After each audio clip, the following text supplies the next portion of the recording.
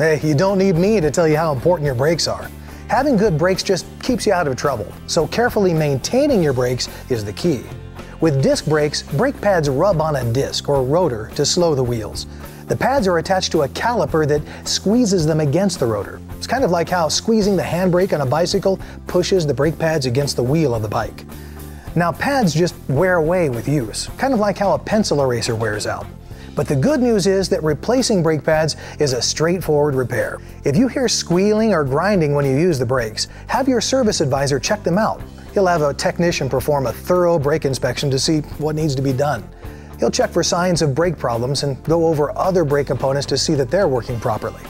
And he can tell you if it's time to replace the pads or if there are other issues with your brakes that should be addressed.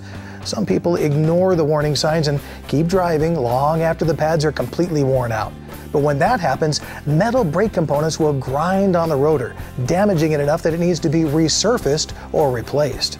The rotors can also warp or crack, in which case they'll need to be replaced. Brake calipers also wear out over time. They can develop leaks or the caliper pistons can freeze open or closed. Either way, it's not good. And when this happens, it's time to replace the calipers. A thorough brake inspection will reveal worn bearings or seals as well.